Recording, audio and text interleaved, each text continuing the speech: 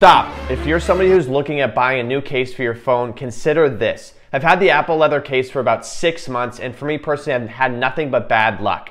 I've had a few drops, less than 10, and the case is actually already starting to peel on the sides. If you guys look carefully right here, let me pull it up to the camera. If you guys look carefully right here and right here, you guys can see that it is actually already peeling on the sides, creating kind of a um, almost getting a sliver in your finger type of feeling. Not a great feeling. And for 50 or $60 for a leather case that's supposed to be premium leather, maybe this is normal. I wouldn't recommend it.